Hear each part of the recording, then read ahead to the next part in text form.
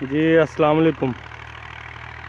जैसे कि मैंने आपको अपने दूसरे पार्ट में बता चुका हूँ कि हमें बीज हमने कौन सा डाला है और किस तरह हमने छट्टा लगाया है और जिस तरह हम लगा रहे हैं।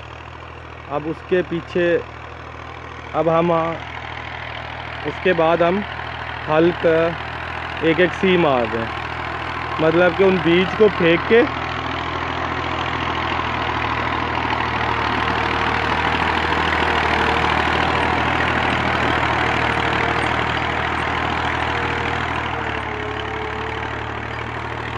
बीज को फेंक के उसके ऊपर हम ये हल चलवा, हल चल रहे हैं।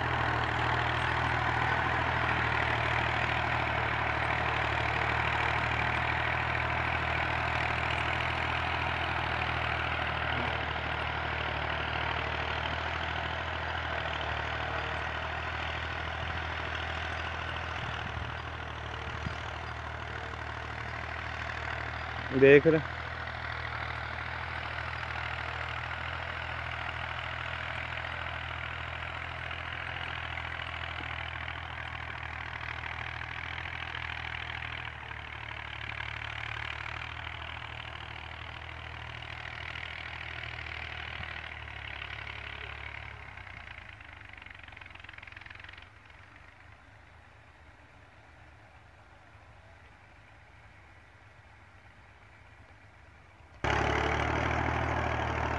एक और मैं आपको साथ साथ बात बताता जाऊँ कि अगर अच्छी ओस्त लेनी है ना और अच्छी काश्त अगर आप चाहते हैं अपनी ज़मीन से लें तो इसको सही टाइम पे काश्त करना और इसका जो बेस्ट टाइम है ना, वो बेहतरीन टाइम जो है ना, वो 21 अक्टूबर से 21 नवंबर तक है।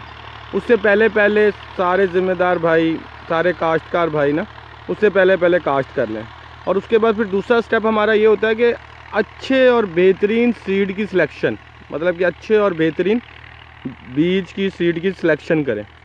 और फिर ज़मीन को अच्छी तरह हम लोग काश अच्छी तरह बनाएँ और अच्छी तरह हल और सुहागे से और हलों से बेहतरीन तरीके से इसको तैयार करें। ज़मीन की तैयारी भी बहुत इम्पोर्टेंट है, ज़मीन की काश्त में ना।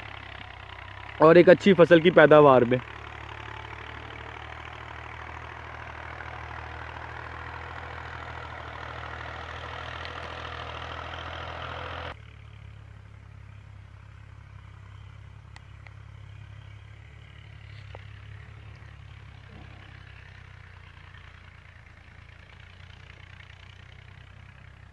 इन ताला मैं आपको आने वाले वक्त में जब ये पहला कनक हमारी किस तरह ये फूटेगी और वो भी दिखाऊँगा। और जब ये कनक तैयार हो जाएगी, गंदम तैयार हो जाएगी, गंदम जब तैयार हो जाएगी और इसकी किस तरह हम कटाई करवाएँगे और किस तरह इसको निकलवाएँगे इन ताला, अल्लाह के हुक्म से। सारा इन ताला मैं एक अच्छा वीलॉग करके आपको दिखाऊँगा। आपको भी मेरा ये वीलॉग पसंद आए तो उसको लाइक करें शेयर करें और सब्सक्राइब करें।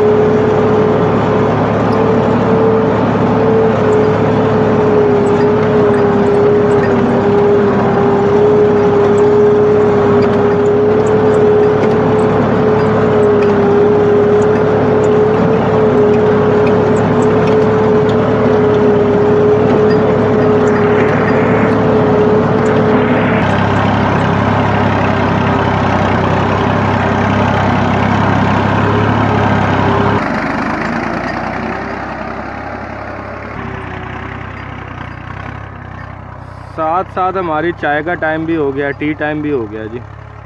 चाय दिखा भाई। चाय दिखाएँ जी ये देखें जी हमारी चाय। ये देखें। ये चाय है और ये हमारे चाय के दो कप। चार रस भी आ भी और ये हमारा काली। और में बाद ये देखें जी और चाय भी आ गई।